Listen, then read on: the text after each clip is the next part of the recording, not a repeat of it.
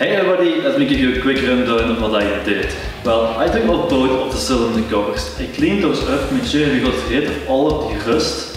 Then I put copper grease on those. This helps. It sealed better, but also prevents them rusting again. After that, I fixed the motor mount at the back. This was made from old scrap steel and a lot of sharp edges, so I rounded everything off and got rid of the excess steel that was on there.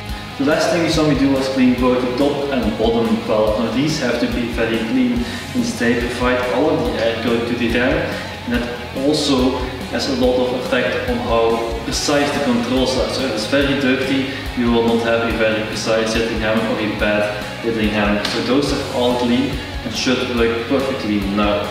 In the next episode we are going to build a wooden base and also talk about how I'm going to fix my dies. So I hope you enjoyed the video and thank you for watching.